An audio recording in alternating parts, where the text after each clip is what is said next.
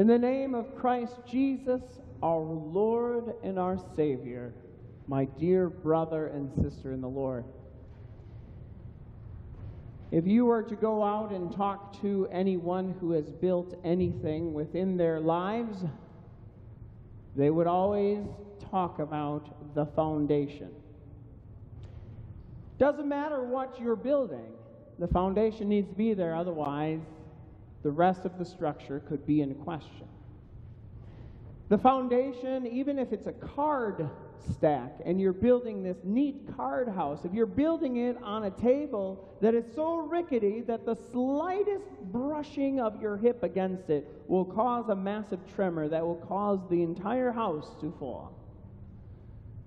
One of my favorite things to do when I was younger was to build sand buildings and sand castles. I had this massive sand pit in my backyard growing up, and I just played in it constantly. And it, it would never fail. I would build these houses and I would leave them, and I'd be thinking to myself, tomorrow I'm going to come back and I'm going to build more. But then in the middle of the night, what would happen is that the sand would dry out, and all of a sudden I'd show up, and it was nothing more than a little hill that was kind of formed. All the detail gone. And if I ever tried to build on top of that, of course, that would be silly. Well, who builds on top of sand? And so when we think about the foundation that is what we have built on for 150 years at St. Paul's Lutheran School, it is something that stands forever. Something that is ironclad, rock solid. Christ Jesus our Lord. Christ Jesus our Lord is our foundation. It is on Him that we have built not just our school, but our church. That everything that we have and all the blessings we receive are from Him, they flow from His grace to us.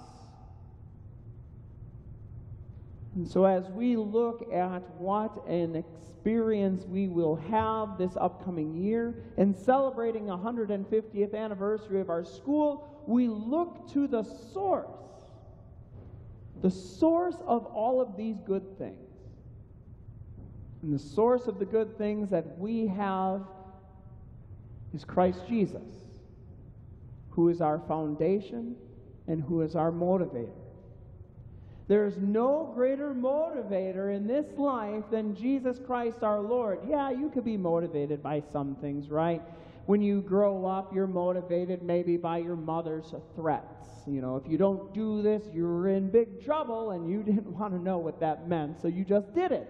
Or you could be motivated, you know, with positive reinforcement as well. If you do this, I'll give you this. And, well, of course, then we did it every once in a while if we indeed wanted it.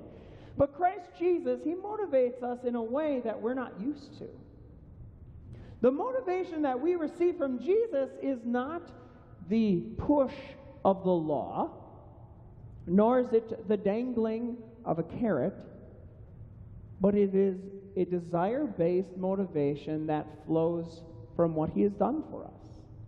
We call that a gospel motivation. And so we look at what that truly means as a blessing to us and how we are motivated not because we have to, but because we want to. That we're motivated by His love and His sacrifice in our life. When we look back over 150 years as we celebrate this anniversary, you can imagine that there were plenty of high peaks and there were plenty of low times. There were challenges, there were difficulties, there were money shortages, there were money surpluses, but maybe not too many. But over all of these years, what never changed? The foundation, our motivation. Never changed. The foundation was our Savior Jesus, and our motivation was to share the love of Jesus. And so, as we look at that, we take a look at what that means in light of the Holy Word of God as it is written in our gospel lesson from John chapter 6. On hearing it, many of his disciples said, This is a hard teaching. Who can accept it? Aware that his disciples were grumbling about this, Jesus said to him, Did this offend you? What if you see the Son of Man ascend where he was before? Spirit gives life, the flesh counts for nothing. The words I have spoken to you are spirit and they are life, yet they are some, there are some of you who do not believe. For Jesus had known from the beginning which of them did not believe and who would betray him.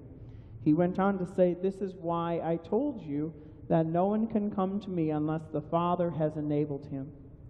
From this time, many of his disciples turned back and no longer followed him. You do not want to leave me too, do you? Jesus asked the twelve. You see, as Jesus was laying a foundation in our chapter 6 of John, you see him laying a foundation that was difficult for people to understand. It was something that, as Jesus said in our lesson, had to be revealed to them by the Heavenly Father. Their eyes had to be opened. Now, for many of you, your eyes were already opened when you came to the baptismal font when you were a young child. The words of Jesus were a joy to you and a delight. These are things, however, that are not so easily known and recognized by all people. And so these disciples, or disciples, let's put them in air quotes, they, they were really struggling with what Jesus had said. And if you remember back to last Sunday, Jesus said some very difficult things. He talked about the eating of his flesh and the drinking of his blood. In fact, these disciples who had then abandoned him, they started spreading the rumors that the followers of Jesus were cannibals. For they eat flesh and they drink blood. This is just crazy. And not only that, because of the spiritual ceremonial cleanliness that they were very much caught up into as Jews. They were afraid that if they would get caught up in this whole eating of flesh and drinking of blood, that makes me unclean, and there's nothing that I should do in this world that I should be unclean. All of this played into this factor of this foundation that Jesus was laying for his disciples to stand upon. But that foundation that he was laying was you need to trust in me. And all the disciples, as they were resorting back to what they were thinking, they were scratching their heads, they were looking around, they're saying, Can this be right? And they started to disperse. They started to walk away. They, they even looked at Jesus. This is hard. This is really, really hard. And Jesus asked them a question that we probably hear far more often, maybe in today's day and age Does this offend you? Does this offend you? Yeah. What does it mean to give offense these days, huh? If I say that I agree or disagree with some political standing, that causes a whole lot of people offense these days. And Jesus, all he was doing was telling them about the bread of life. He was telling about the gospel, the good news. And this is what was offensive to many people. Because he was sharing with them this foundation that he was laying that everything good comes from his heavenly Father. Everything good flows through and to and from Jesus. And this, all of a sudden, it is offensive. Not to our new man at all, but to our sinful nature. You see, our sinful nature gets offended by that because that means that it's not what we do. It's not how hard we work. It's not how many good things that I can put in the win column for me. It has nothing to do with that instead has everything to do with Jesus. That we need to rely on Jesus. And so, as we look at that foundation that Jesus was laying and the offense that the people were taking, they were looking at it and they were not stepping onto that solid foundation. It was more as if they were missing it and they were stepping on that soggy sand. They didn't exactly know or understand or feel like they got what was going on. And Jesus saw this. He saw the men that he had been preaching and teaching to. Some of the other men, they started to leave. They started to walk away. They started to desert Jesus. And so Jesus looked to his closest 12 friends, his 12 disciples, and he asked them, You don't want to leave too, do you? You know, when all of a sudden things get hard, that is when we are tempted to leave, isn't it? When all of a sudden all the chips seem to be down, it seems as if we're going upstream, it seems like it's just so hard. It just seems like it might just be easier to give up. Think about how many different times we face challenges in our lives and think about over the last 150 years how many different challenges that the people of God here at St. Paul's faced with their school. Life as we know it is not easy. Life in doing what God tells us to do is even more difficult at times because the world's not on our side. The devil is against us, and our sinful natures can trick us. And so we're motivated then, aren't we? We're motivated to turn back to the foundation, to, to reassert ourselves onto Christ Jesus our Lord, and to hear from Him what He has done for us. To help us understand that we have hope that there's reason for our excitement. There's reason for us to be joyful. There's reason for that. And that is because He does not leave us without any hope. He is the bread of life, He is the foundation of our life. He is the one who has done it all for us. He died for us, He atoned for all of our sins, He made us clean.